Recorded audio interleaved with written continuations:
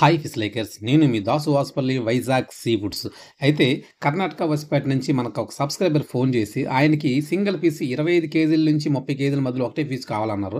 Yellow ఫింటోనా ఆయన కోసం అయితే ఈ ఎల్లో ఫింటోనా అయితే పర్చేజ్ చేసామన్నమాట ఇదైతే నేను ఒక్కరిని ఎత్తలేకపోతున్నాను చాలా బరువుగా ఉంది. అలాగే దీన్ని మన ప్లేస్కి తీసుకెళ్ళిపోతాం మన షెడ్ దగ్గరికి ప్యాకింగ్ చేసుకోవడానికి అంటే ఇక్కడ అనువుగా ఉండదు కాబట్టి మన ప్లేస్ దగ్గర తీసుకొచ్చేసాం. అయితే ఇప్పుడు మీరు చూస్తున్నారు కదా దీన్ని వేమెంట్ వేస్తున్నాం. మనం తీసిన సరుకంతా ఈ కాట మీద వేమెంట్ వేసి మనం చెన్నై కేరళ ముంబై పంపిస్తున్నాం. ఇదైతే ఇరవై ఎనిమిది కేజీలు వచ్చింది చూసారుగా గుండె అయితే ఇరవై కేజీలు అక్కడైతే ఎనిమిది కేజీలు ఉంది. మొత్తం ఇరవై ఎనిమిది కేజీలు అనమాట అయితే సింగిల్ బాక్స్లో పంపించడానికి ప్లాన్ చేస్తానంటే ఆయన ఏమన్నారంటే ఎక్స్పెన్సెస్ దగ్గర ఎక్కువైపోతుంది కదండి వద్దు అన్నారు. కట్ చేసి పంపించమన్నారు.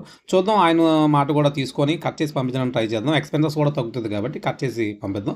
కట్ చేసాం కదా అని చెప్పేసి మీటు చాలా జాగ్రత్తగా పాడవకుండా ఎలాగైతే ప్యాక్ చేస్తానో స్లిప్ చేయకుండా చూడండి. నీట్గా దాన్ని ప్యాక్ చేసి అయితే పంపిద్దాం. అలాగే మీకు ఎవరికైనా చేపలు కానీ పీతలు కానీ రొయ్యలు కానీ ఎనీ సీ ఫుడ్ కావాలంటే మన ఛానల్లో నెంబర్ ఉంటుంది. ఆ నెంబర్కి కాల్ చేస్తే మీకైతే నేను పంపించడానికి ప్రయత్నిస్తాను.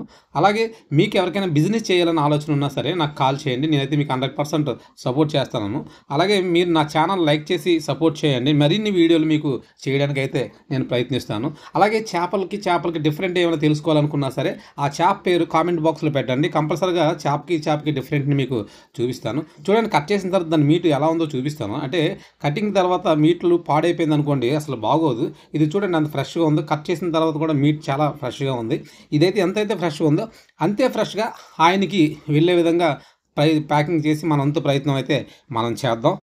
కట్ చేసి నీ రెండు పీసులని డైరెక్ట్ బాక్స్లో వేసి ఐస్ వేసి పంపించవచ్చు. కాకపోతే ఏమవుద్దంటే ఆ ఐస్ వాటర్ అయ్యి అది కాస్త ఆ వాటర్ మీట్కి తగిలి ఏమవుద్దంటే ఆ బ్లడ్ అంతా పోయి మీట్ బయటకు వచ్చేస్తుందనే ఉద్దేశంతో చాలా జాగ్రత్తగా దీన్ని కవర్ వేసి పెడుతున్నాం. చూడండి ఈ కవర్ కొద్ది గమ్ కవర్లా ఉంటుంది. దాంతో అంటుకునే ఉండడానికి ఎక్కువ అవకాశం ఉంటుంది కాబట్టి ఈ గమ్ కవర్ని తీసుకొచ్చాం అనమాట ఎందుకంటే ఆయనకి చాలా జాగ్రత్తగా వెళ్ళడమే ముఖ్య ఉద్దేశం కాబట్టి పెడుతున్నాం. అది రెండోసారి కూడా కవర్ కూడా వేస్తాం. అలాగే తలకాయకి కూడా అలాగే వేస్తాం అలాగే తోకముకు కూడా అలాగే జాగ్రత్తగా రెండుసార్లు వేసి దాన్ని ప- ప్యాక్ చేసేటప్పుడు నీట్గా చేద్దాం. అలాగే మీకు ఇప్పుడు చెప్తుంటాను నేను మరిన్ని వీడియోలు చేయాలంటే నా ఛానల్ లైక్ చేసి సబ్స్క్రైబ్ చేసి అలాగే గంట బెల్ నొక్కారనుకోండి నేను ప్రతి పెట్టే వీడియో కూడా మీకు అది వస్తుంది. ప్లీజ్ నన్ను సపోర్ట్ చేయండి.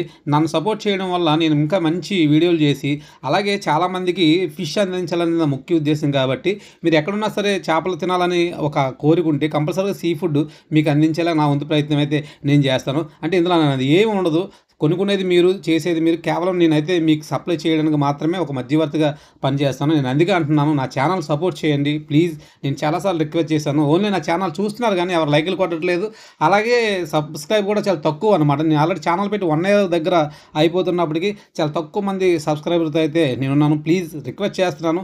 నా ఛానల్ లైక్ చేసి సపోర్ట్ చేసి నన్ను మరింత ఎంకరేజ్ చేశారనుకోండి మరిన్ని మంచి వీడియోలు చేసి మరింత మందికి సీ ఫుడ్ అందే విధంగా నా వంతు ప్రయత్నం అయితే నేను చేస్తాను. Thank you see you bye